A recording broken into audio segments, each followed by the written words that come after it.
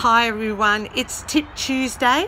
I'm actually out on the veranda because Mr. Havachat's in the kitchen cooking tea, so I was very willing to come out here on the veranda to do today's tip. And it is a beauty. I've made my own liquid soap.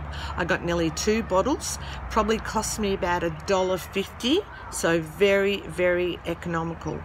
Three ingredients, three cups of water, one and a half teaspoons of glycerin, which I got at my chemist, and a half a cup of grated soap, and I used the good old velvet soap.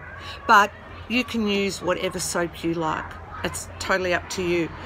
I've got some in the bowl here, and I've used it. Mr. Havachat's used it. We think it's pretty good.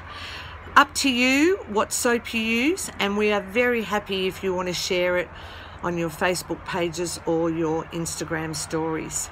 Anyhow, that's it for today and keep shaking.